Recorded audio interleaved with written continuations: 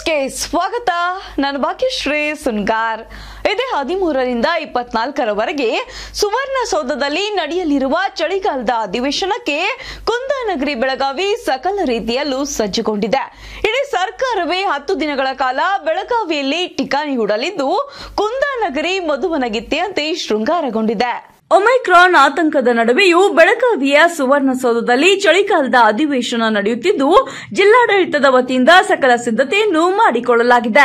ಬೆಳಗಾವಿ ಅಧಿವೇಶನದಲ್ಲಿ ಶಾಸಕರು, ಪರಿಷತ್ ಸದಸ್ಯರು ಸೇರಿ ಮುನ್ನೂರು ಜನ ಭಾಗವಹಿಸಲಿದ್ದು, ಸಚಿವಾಲಯದ ಅಧಿಕಾರಿಗಳು, ಸಿಬ್ಬಂದಿ ಸೇರಿದಂತೆ ಮೂರು ಸಾವಿರದ ಐದುನೂರು ಜನ ಭಾಗಿಯಾಗಲಿದ್ದಾರೆ. ಎಲ್ಲರ ವಸತಿ ಸೌಕರ್ಯಕ್ಕಾಗಿ ಎಪ್ಪತ್ತೆರಡು ಹೋಟೆಲ್ನಲ್ಲಿ ಎರಡು ಸಾವಿರದ ನೂರು ರೂಂಗಳನ್ನು ಬುಕ್ ಮಾಡಲಾಗಿದೆ. ಇನ್ನು ಭದ್ರತೆಗಾಗಿ ಹದಿನೈದು ಎಸ್ಪಿ, ನಲವತ್ತು ಡಿಎಸ್ಪಿ, ಇನ್ನೂರು ಇನ್ಸ್ಪೆಕ್ಟರ್ ಸೇರಿದಂತೆ ನಾಲ್ಕು ಸಾವಿರ ಪೊಲೀಸರನ್ನ ಭದ್ರತೆಗೆ ನಿಯೋಜಿಸಲಾಗಿದೆ. ಪೊಲೀಸರ ವಸತಿಗಾಗಿ ತಾರಿಹಾಳ್ ಶಿಂದೋಳಿ ರಸ್ತೆಯಲ್ಲಿ ಟೌನ್ಶಿಪ್ ನಿರ್ಮಿಸಲಾಗಿದೆ. ಟೌನ್ಶಿಪ್ನಲ್ಲಿ ಊಟ, ವಸತಿ, ಶೌಚಗೃಹ, ಆಸ್ಪತ್ರೆ, ವಿದ್ಯುತ್, ಕಂಟ್ರೋಲ್ ರೂಮ್ ಸೇರಿದಂತೆ ಎಲ್ಲ ಸೌಲಭ್ಯ ಒದಗಿಸಿ ಸಾವಿರದ ಎಂಟುನೂರು ಜನರಿಗೆ ವ್ಯವಸ್ಥೆ ಮಾಡಲಾಗಿದೆ. ಇನ್ನು ಚಳಿಗಾಲದ ಅಧಿವೇಶನಕ್ಕೆ ಪ್ರತಿಭಟನೆ ಉತ್ತಟ್ಟಲಿದೆ. ತಟ್ಟಲಿದೆ ಪ್ರತಿಭಟನಾಕಾರರಿಗಾಗಿ ಬೆಳಗಾವಿ ಸುವರ್ಣಸೌಧದ ಹೊರಭಾಗದ ಸುವರ್ಣ ಗಾರ್ಡನ್ ಹಾಗೂ ಕೊಂಡಸ್ಕೋಪ್ದಲ್ಲಿ ಟೆಂಟ್ ನಿರ್ಮಾಣ ಮಾಡಲಾಗಿದೆ. ಈವರೆಗೂ ಎಪ್ಪತ್ತೈದಕ್ಕೂ ಹೆಚ್ಚು ಸಂಘಟನೆಗಳು ಪ್ರತಿಭಟನಾ ಅನುಮತಿಗಾಗಿ ಅರ್ಜಿ ಸಲ್ಲಿಸಿವೆ. ಕೋವಿಡ್ ನಿಯಮ ಪಾಲಿಸಿ ಪ್ರತಿಭಟನೆ ನಡೆಸಲು ಸೂಚಿಸಲಾಗಿದ್ದು, ಐನೂರಕ್ಕೂ ಹೆಚ್ಚು ಜನರನ್ನ ಸೇರಿಸುವಂತಿಲ್ಲ. ಎರಡು ಡೋಸ್ ವ್ಯಾಕ್ಸಿನ್ ಪಡೆದಿರಬೇಕು. ಎಪ್ಪತ್ತೆರಡು ಗಂಟೆಯೊಳಗಿನ ಆರ್ಟಿಪಿಸಿಆರ್ ವರದಿ ಕಡ್ಡಾಯ ಎಂಬ ಷರತ್ತು ವಿಧಿಸಲಾಗಿದೆ. ಒಟ್ನಲ್ಲಿ ಹತ್ತು ದಿನಗಳ ಕಾಲ ನಡೆಯಲಿರುವ ಚಳಿಗಾಲದ ಅಧಿವೇಶನದಲ್ಲಿ ಸರ್ಕಾರದ ಕಿವಿಯಿಂದಲೂ ವಿಪಕ್ಷಗಳು ರೆಡಿಯಾಗಿದ್ದು, ಮತ್ತೊಂದೆಡೆ ಪ್ರತಿಭಟನೆ ಬಿಸಿ ಕೂಡ ಸರ್ಕಾರಕ್ಕೆ ತಟ್ಟಲಿದೆ.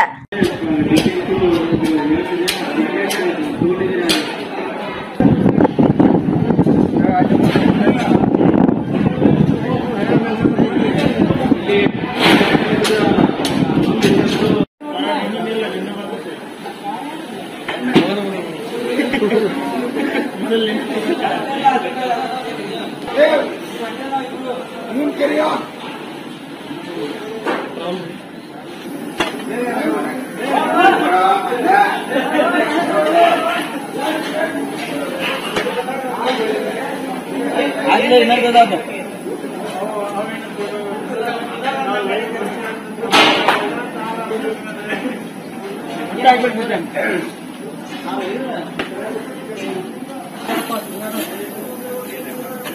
అక్కడ నిలబెట్టు నిలబెట్టు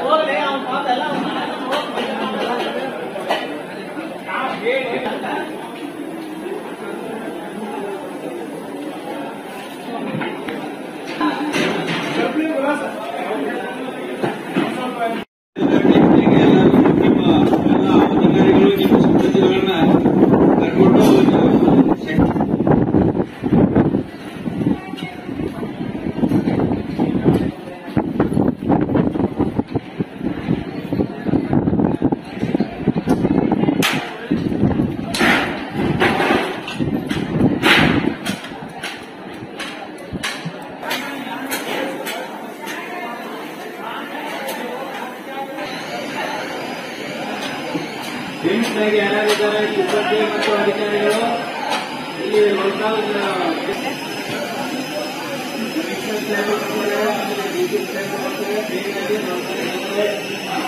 ಸಿಬ್ಬಂದಿ